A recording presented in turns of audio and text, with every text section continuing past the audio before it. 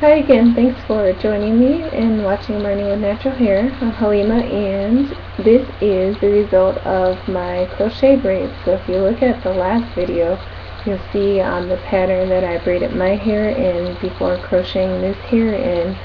Um, and my sister and I cut into a style. You can see it's kind of, a, it's a bob style, um,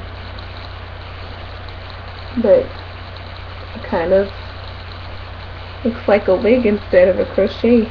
And if you look right here you can see where I crocheted in.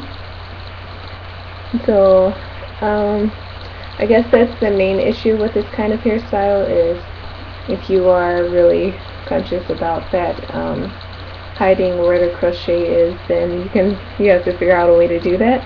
Um, one thing I did was I tied a scarf on and that hid some of it um, if you want, you could part it in a different place and cut it in a different place and maybe put a flower on top of where the crochet um, pattern is seen. But for the most part, this is the main area where the crochet um, is evident.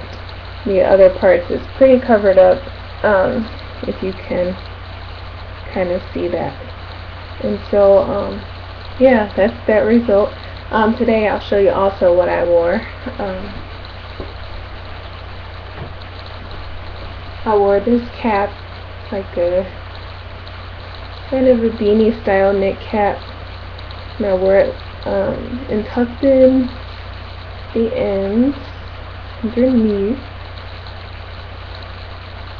I had a couple of claw clips in the sides to hold, make sure the hat was on. And I wore these um, earrings with it.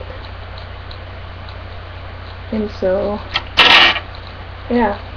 Let me know what you think. Please rate, comment, and subscribe. And thank you for watching Learning with Natural Hair. And have a wonderful night. Bye.